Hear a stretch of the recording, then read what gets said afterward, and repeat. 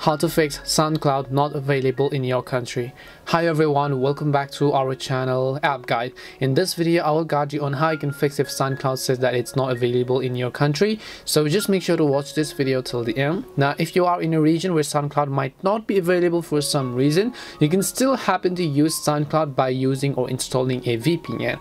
For example, let's say you want to change your region, you can download any of the VPNs. In my case, what I like to do is if I want to use a US VPN, I'll just download a VPN app dedicated to that specific server so that it will actually only connect to that server and not other ones. So basically you can download any of the VPN apps as you wish and as you download them just tap on the open button and then once you tap on the open button it will ask you to actually purchase it but I'm going to ignore that for now and then I'm just going to click on the option that says connect to VPN USA now once I've connected to a VPN what I will do is you'll be able to see a verification at the top as well. It says not connected. It might take some time to generate configuration.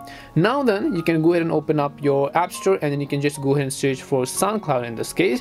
And now once you search for SoundCloud and once you open it you should be able to use SoundCloud without any issues. And that's all it takes to fix SoundCloud not available in your region. We hope the video was really helpful. And if it did help you then make sure to leave a like and subscribe to the channel. If you have got any more questions then feel free to also leave them down. Thank you very much for watching till the end and see you in the next video